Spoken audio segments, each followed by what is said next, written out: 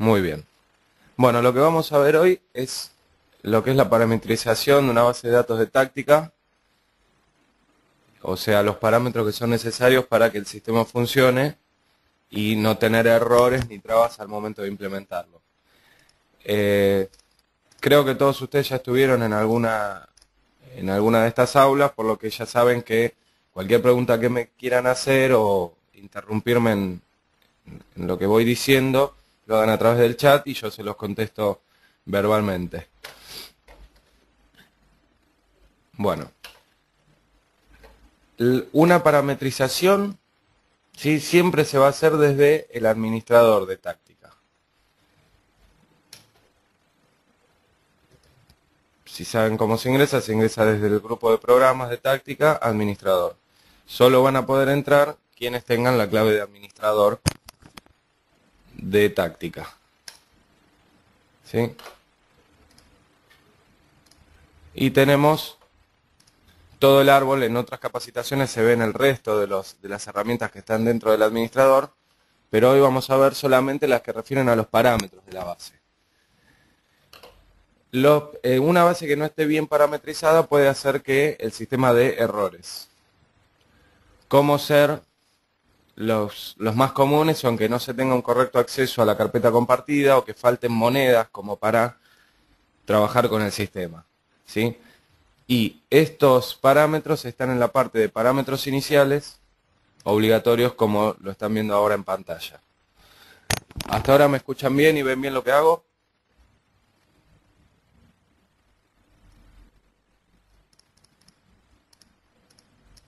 Perfecto.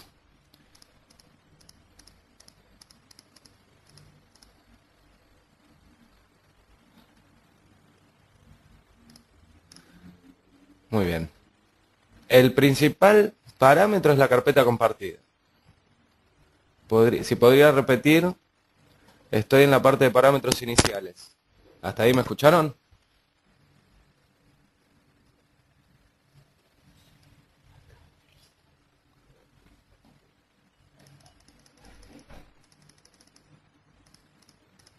Bueno, seguimos. El principal parámetro es la carpeta compartida, que es, además de lo que es la base de datos dentro del motor MySQL, es una carpeta donde se guardan los datos adjuntos que se trabajen con el sistema. Datos adjuntos como ser los correos, como ser los reportes, como ser las plantillas, los documentos que se adjunten a las empresas. Y si ustedes no tienen correctamente seteada la carpeta compartida, el sistema les va a dar un error apenas intenten ingresar. ¿Sí? Vamos a emular el error para que ustedes puedan, puedan ver cómo les aparece, cómo les aparece. Y esto se hace ingresando a táctica. Ah, no, ahí está bien seteada.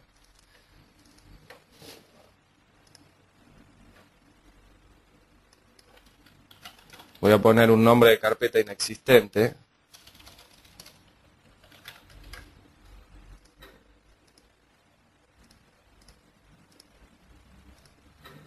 Y este es el error que les estaría apareciendo en caso de no estar correcto este parámetro.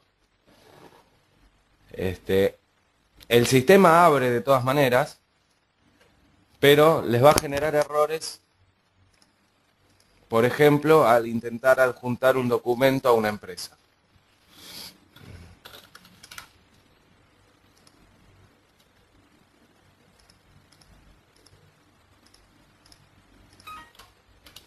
¿Sí? Esto es exclusivamente porque no se tiene correcto acceso a la carpeta compartida. Si ustedes utilizan el módulo de correo, el correo va a dar errores permanentemente. Al querer ver un reporte, sea de presupuestos o de cualquier módulo del sistema, también le va a estar dando errores. Así que cuando vean este mensaje al intentar ingresar al sistema, es conveniente que antes de seguir trabajando corrijan este parámetro. Y se hace desde el administrador. Entonces tienen que tener en cuenta que esto se puede hacer desde cualquiera de las máquinas de la red, por lo que tiene que indicar que la carpeta compartida esté en la red. Si se trabaja desde el servidor y dicen que la carpeta compartida es local, va a tomar el sistema como que en todas las máquinas hay una carpeta compartida local. Entonces va a dar los mismos errores que si no estuviese bien seteada. Lo más seguro para indicar cuál es la carpeta compartida es seleccionar la parte de red y navegar hasta llegar a la carpeta que ustedes designaron como compartida del sistema. En este caso vamos a dejarla como local así no, no uso ninguno de los recursos de la red de táctica.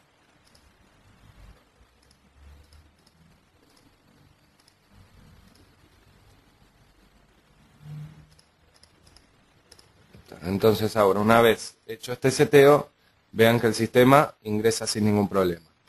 En la parte general, que está en la barra lateral, tienen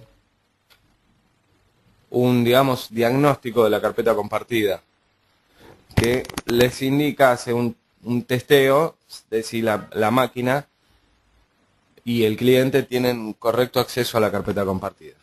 ¿Sí? En este caso, como pusimos bien el parámetro, dice, se comprobó que existan todas las carpetas necesarias y se comprobó que se puede escribir en ellas. Eso es algo que, bueno, no mencioné antes, pero es algo muy importante que, además de estar compartido el recurso, tenga todos los permisos para que los usuarios puedan escribir y modificar datos a medida que van usando el sistema. ¿Está bien hasta acá?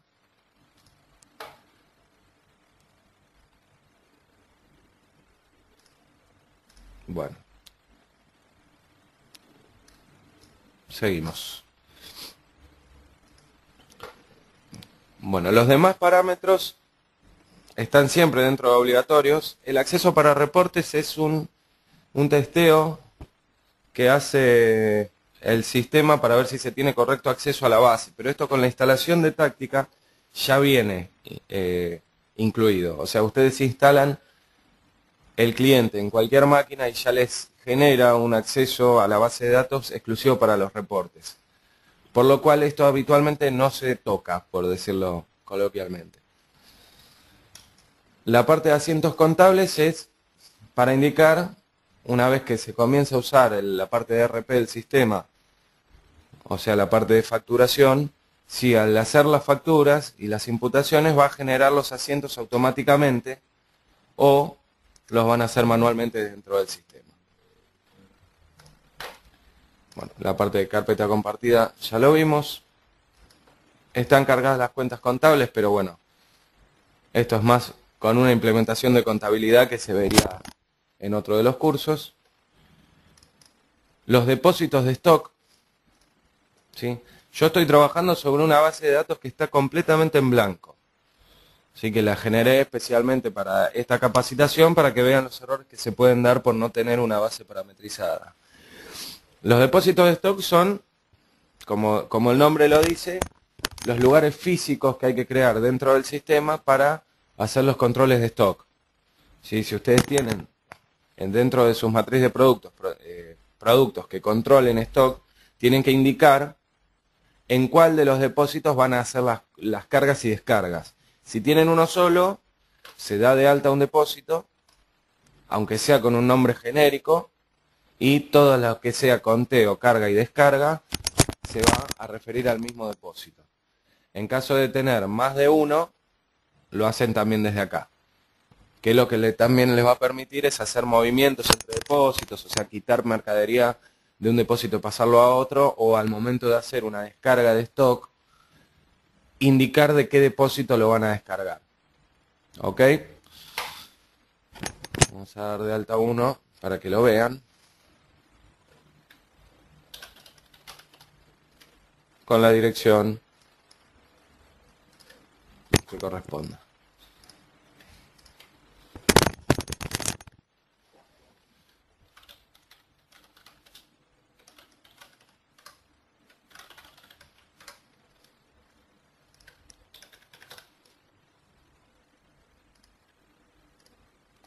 Bueno, no llenemos, no, no perdamos tiempo en completarlo de país, localidad, no es necesario.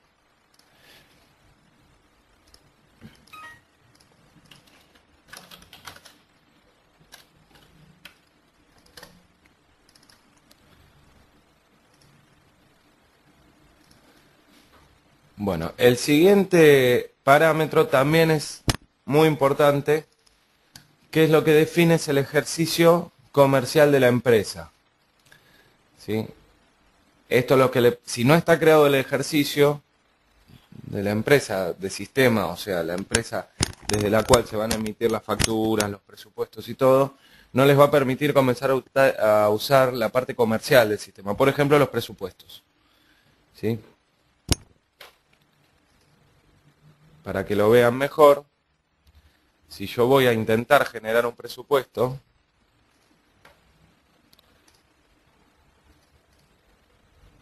ah, no tengo cargo, voy a tener que cargar un cliente primero.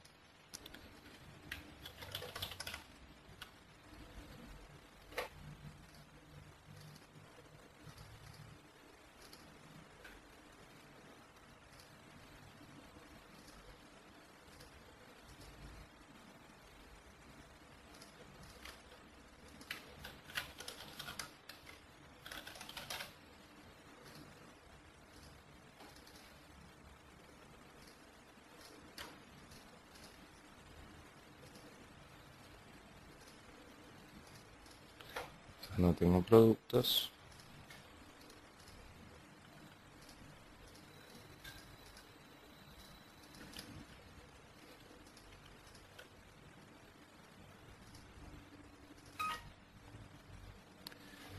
Acá me dice que no tengo asignado en la cuota el producto. Esto es porque la cuota no ha sido creada porque no ha sido creado el ejercicio tampoco comercial de la empresa. Y las cuotas es la, la cuota es la habilitación que se le da a los usuarios para poder usar la parte comercial del sistema. Sí, pero bueno, eso se ve también en otros cursos.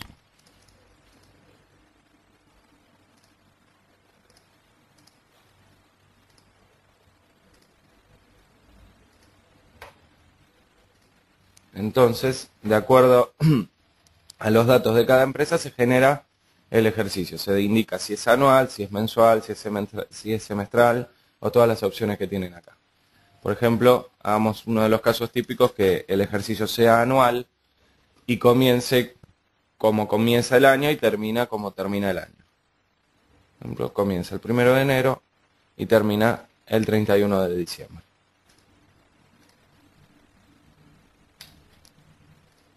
Bien, hasta acá tienen alguna duda. Sigo.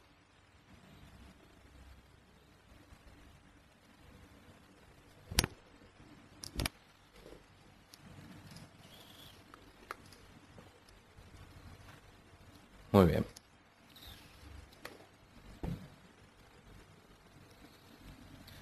A ver, acá me... En caso de tener, me pregunta Silvia, si en caso de no tener ningún depósito hay que crear uno ficticio. La respuesta es sí. Si se va a hacer el control de stock para los, para los productos, hay que generar, aunque sea un, depósito ficticio, desde donde contar y descontar la mercadería que entra y que sale. ¿Quedó claro, Silvia?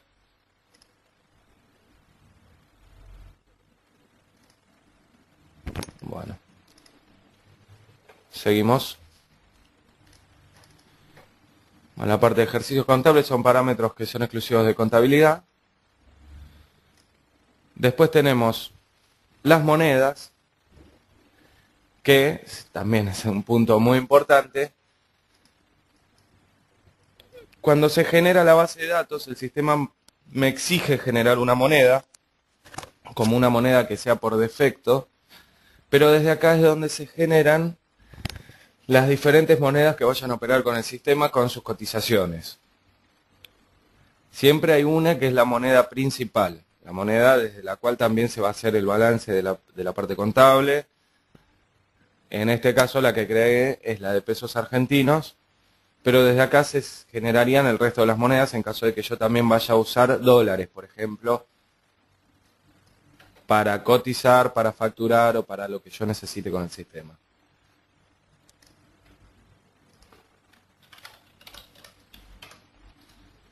Con su símbolo y la cotización. No recuerdo cómo está la cotización de dólares, pero creo que está en algo así. ¿sí? El sistema admite hasta seis monedas.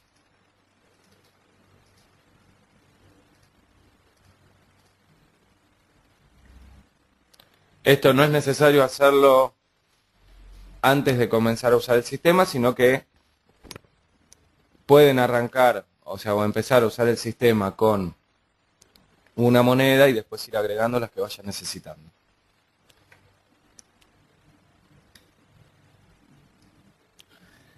Al no, en caso de no haber generado ninguna moneda, el sistema al ingresar, al igual que nos daba el error de la carpeta compartida, me estaría dando un error que me dice que no hay monedas en el sistema. Lo cual me bloquearía cualquier elemento de la parte comercial, hasta, hasta lo que es la creación de productos. Si no hay monedas creadas en el sistema, no se pueden dar de alta los productos porque no se le pueden asignar precios ni siquiera en cero. ¿Ok? Bien, ¿quedó claro la parte de monedas?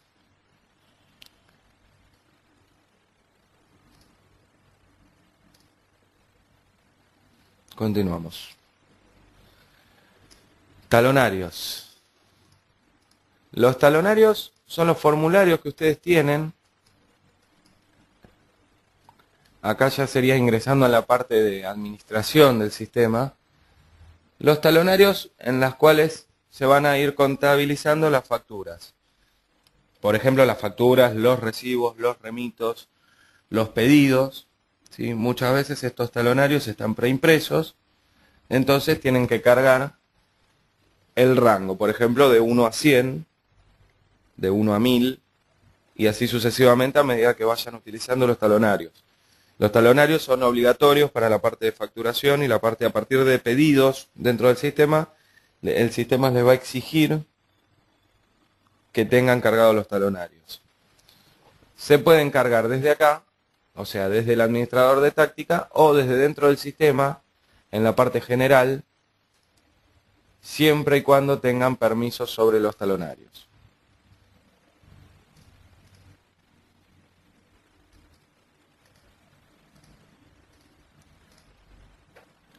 Para dar de alta un talonario, se selecciona nuevo, el tipo de talonario que estaríamos creando, a qué sucursal de la empresa pertenece, el rango, que es lo que les mencionaba antes,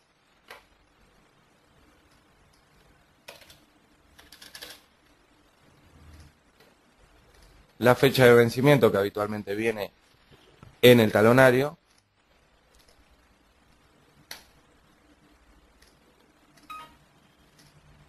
Esto porque no tengo cargada la razón social del sistema.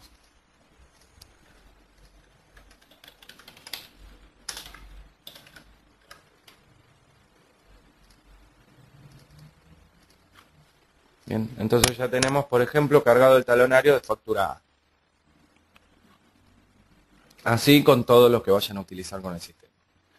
El factura B, los talonarios multipropósito, los de recibos, de remitos, ¿sí? todos están en la parte de tipo de talonario.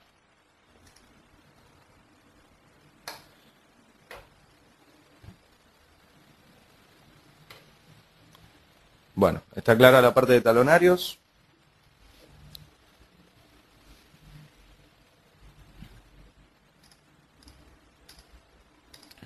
Muy bien, seguimos.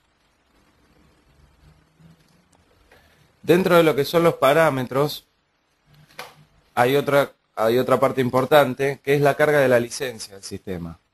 ¿Sí? Porque se pueden generar bases de datos en blanco, pero siempre van a necesitar la habilitación de la licencia para, digamos, para poder usar el, el sistema sin límite de tiempo y la licencia es lo que define la cantidad de usuarios que pueden ingresar concurrentemente al sistema.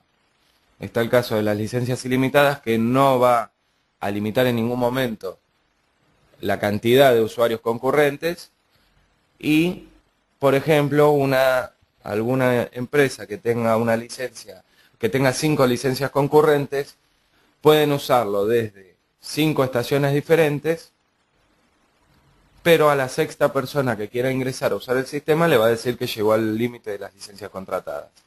Esto es algo La licencia es algo que enviamos nosotros, que generamos nosotros, pero siempre es bueno que, sepan cómo cargarla. Habitualmente es un archivo de texto. Entonces, acá dice los motores de base de datos que están contemplados para las licencias y al generar un nuevo registro pueden ir a buscar el archivo que nosotros hayamos enviado. ¿Sí? Al decirle interpretar, acá cargué la misma licencia, pero estaría diciendo que la operación ya se realizó y ustedes al ingresar a la ventana del programa, bueno, un segundo que no se cerró correctamente,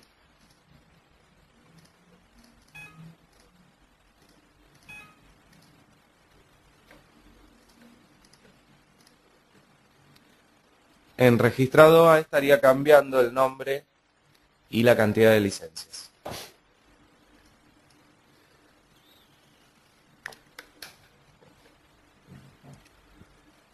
Bueno, además de la licencia tenemos lo que son los parámetros no obligatorios. O sea, los que no son limitantes a la hora de usar el sistema. Las tasas de IVA para los productos, las tasas de ingresos brutos, De interés, las retenciones, los recursos. En el curso de administrador del sistema se ven en profundidad todos estos parámetros, pero en caso de ustedes querer revisarlos, lo pueden hacer. Los recursos se refieren al calendario, parámetros de, retención, opciones de stock. Las opciones de stock definen más que nada cómo se va a eh, cargar y descargar el stock. O sea, si, a través de qué documento del sistema se va a hacer la carga y descarga. Pero bueno, insisto en que estos parámetros se ven en, en los cursos de administración avanzada. De los parámetros obligatorios y los parámetros principales, que es lo que vamos a ver en este curso, ya estarían todos. Lo que les pido es que si quedaron, si quedó algo sin aclarar o les quedó algo pendiente de consultar, lo hagan ahora a través del chat.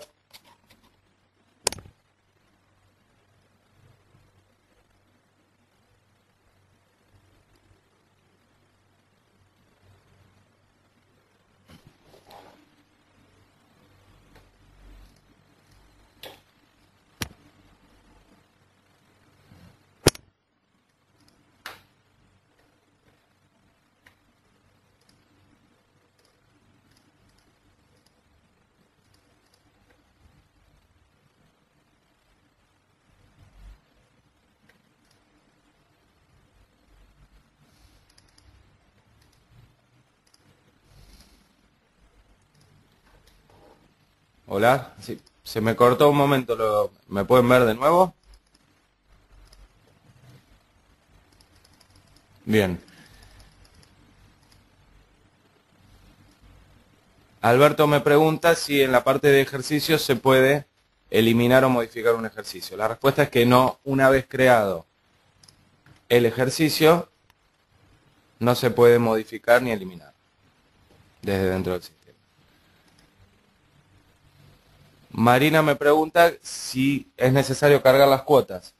Si el usuario va a hacer, va a utilizar la parte comercial, o sea, por ejemplo, la parte de presupuestos, hay que asignarle una cuota, aunque sea genérica, o que la cuota sea en cero, porque no necesariamente tiene que ser un módulo, perdón, no necesariamente tiene que ser un monto, sino que es más que nada una habilitación para la parte comercial del sistema.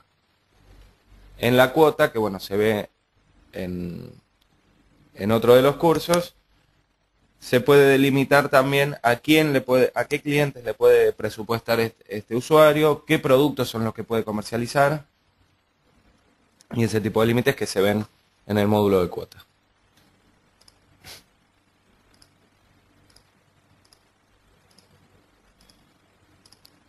Bien, ¿alguna consulta más? Si no, ya vamos concluyendo con este curso.